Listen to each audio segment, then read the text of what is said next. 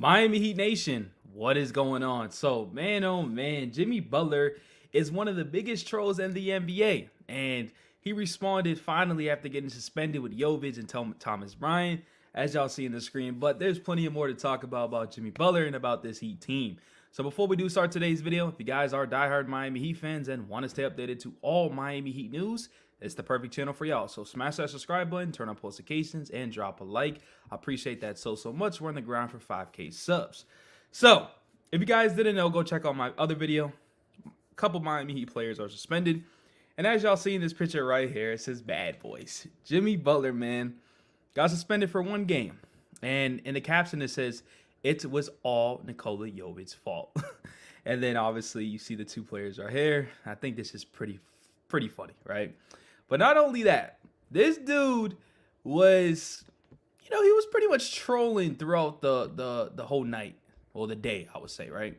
So as y'all see right here, Jimmy Butler's latest IG story after hearing about his one game suspension, he posts, "Locked up, don't let me out. Oh, they won't let me out." Right, and then after that, he puts jail by Kanye West, and then he puts life by K-Ci and JoJo. This is hilarious. Like, he's literally the biggest troll.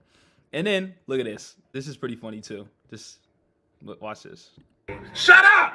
You definitely get slapped on my way out. Shut up!